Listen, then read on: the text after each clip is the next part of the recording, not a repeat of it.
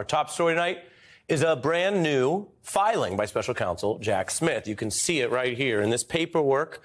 You could see what they're talking about, which is evidence, what lawyers call discovery material. And this kind of filing reminds Donald Trump and his evolving team of lawyers they are on a collision course with Jack Smith's aggressive office, barreling towards a trial slated to start in August.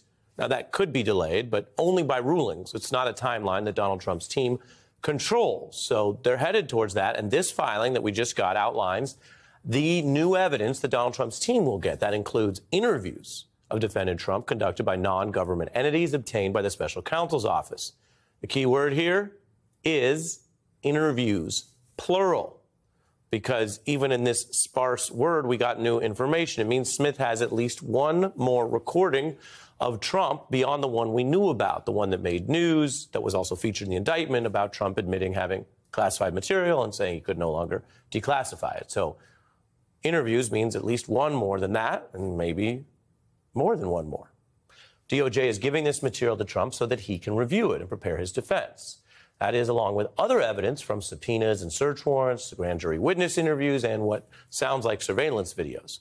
Now, that grand jury material could include people defending Trump or saying things that are otherwise just helpful to him or don't necessarily hurt him. We do know his aide and co defendant, Walt Nauta, for example, spoke to the grand jury. This new filing, though, will also tell Trump about witnesses who are not defending him. It may even provide testimony that could can get him convicted. Now, Trump aides have wondered whether people like, say, attorney Evan Corcoran or former aide Mark Meadows would take the stand against Trump. In the law, they call that testifying for the government. It can actually almost get confusing when you have a former government official, like a former president, being tried, but for the government is tantamount or equal to for DOJ or for Jack Smith. So take a look at this because lawyers describe it that way. The filing references material from witnesses who will testify for the government against Trump at trial. Now, this is new in the filing. It means Trump will learn who is testifying against him. And there have been reports about all of that worry. And does he worry that factual testimony by people who've been around him would hurt him? Of course, if he didn't do anything wrong, why would that worry you? So that's some of the new material here in the new Smith filing. Then there's something that's not actually brand new, but is pretty striking. It's why Donald Trump was in that arraignment, and it's specific to him and his, shall we say, style, which is different from most criminal defendants. And I want to get into this briefly before I bring in our experts tonight because it is part of how Donald Trump ended up at that arraignment table in the first place and a sign of how his reckless statements finally caught up to him in court. The filing dryly notes that DOJ will provide to Trump, quote, public statements made by defendant Trump.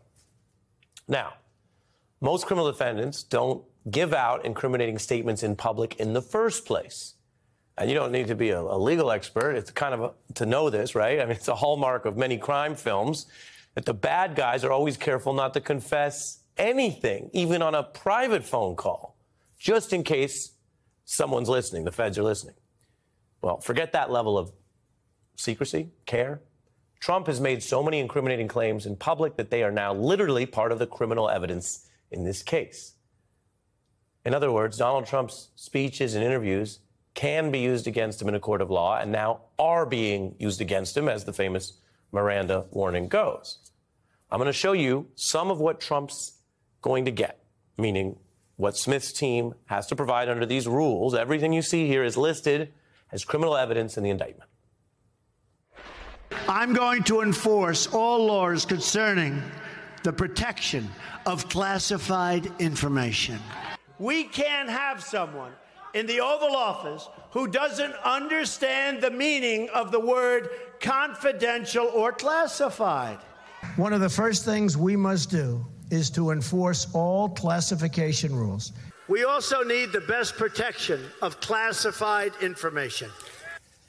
That is all evidence. It goes to his mental state. It goes to what Jack Smith says is part of how they prove each element of the crime. Not only what he allegedly did, but what he thought at the time. And you just heard him say he thought classified material should be protected, and it's important, and this is how it works. Now, Trump's lawyers don't need DOJ to give them this particular evidence of public statements. It's public. I mean, you could find each of those quotes in a YouTube search. But under the rules, it's going over to Mar a Lago just the same. And Jack Smith is showing how he builds a case, including using everything at his disposal.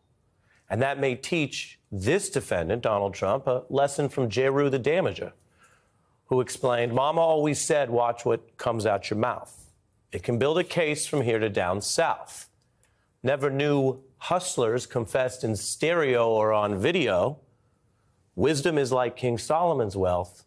You think you're a player only because you be playing yourself. Did Donald Trump fully and finally play himself this time? Jack Smith is saying in court, in the indictment, and in this filing, he has the evidence to prove it.